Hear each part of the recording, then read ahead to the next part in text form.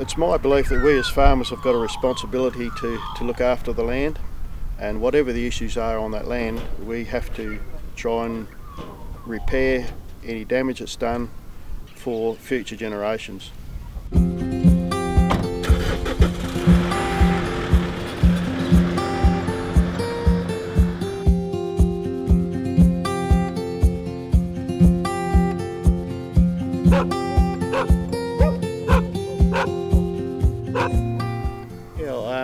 Uh, Ian Walsh. Uh, we farm uh, with my wife and my son and his family. Uh, we've been here since uh, the late 50s and uh, we're in the Great Southern at just east of Cranbrook. The knowledge of salt land was very limited back in the 60s and early 70s and it wasn't until research was done in the in the 80s that we began to understand what the issue was uh, which was rising groundwater. So we haven't got a salt problem here, we've actually got an excess water problem. As the land became uh, less productive over time, uh, to stay farming here we knew we had to do something. So we decided to um, work on our poor land so we could increase production. So we've introduced a perennial system which includes uh, saltbush, saltland uh, perennials and also uh, subtropical grasses such as uh, kikuyu and Rhodes grass. This has increased our sheep carrying capacity while at the same time we can still maintain our cropping area.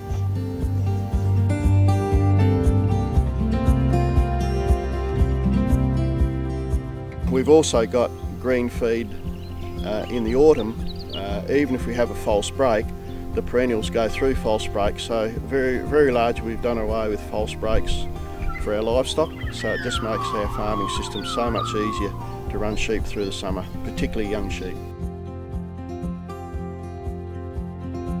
Now restoring marginal farmland, um, it's, it's, not, it's not necessarily all about production. Some areas we've, we've put back to trees for shelter belts along creek lines, other areas we've put back to um, to saltbush and kikuyu that's not suitable for cropping. So the benefits are increased stock production, but, but the other side that doesn't get talked about very often is the feeling of well-being and how it actually lifts the spirits in your soul. After seeing bare scald and very degraded land, driving past in the summertime and seeing green growing where there was bare scald is just very uplifting. Saltbush in particular is a native wild species and hasn't had much work done with it. Um, over the last few years we've been working with CSIRO in their projects of developing superior salt bushes and to that end we've had grazing trials on, on these superior species here and uh, also increased sheep production through the reduction of methane the idea is the sheep can graze as per normal in the paddock, so we want their very normal morning grazing pattern to happen. And then at about 8 o'clock each morning, we'll go to the paddock and collect the sheep and bring them up to the polytunnel.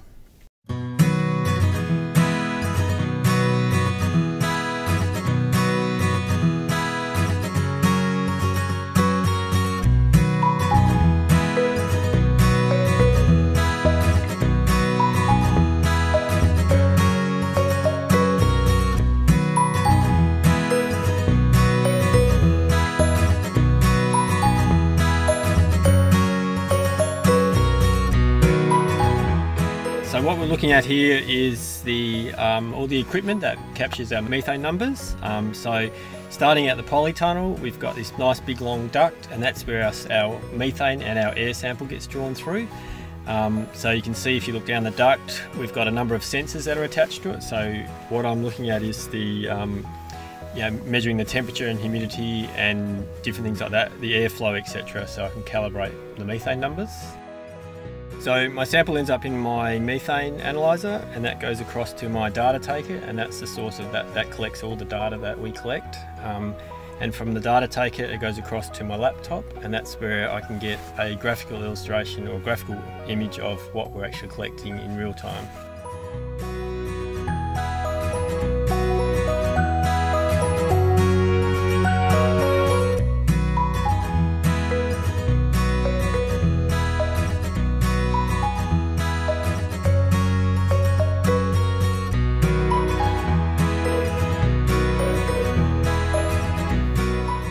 In this project, uh, we're looking at about 10 different lines of uh, saltbush and we're also looking at a range of uh, shrubs that have been identified with uh, potential for reducing methane production in the animal.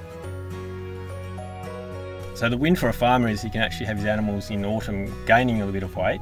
You know, he can finish his stock in, on, on a shrub plot and get them to market quicker and, uh, and not have to spend his summer supplementary feeding them. We, we, have, we, obviously have a very limited resource in, in agricultural lands. So there's a lot of marginal lands which are maybe no longer suitable for cropping or, or other intensive agriculture. But when we can grow a fairly productive shrub on it and, and get really good livestock production, you know, that's the sort of thing we're looking at in terms of efficiency. So this project's about investigating those different options and, and how we can achieve them.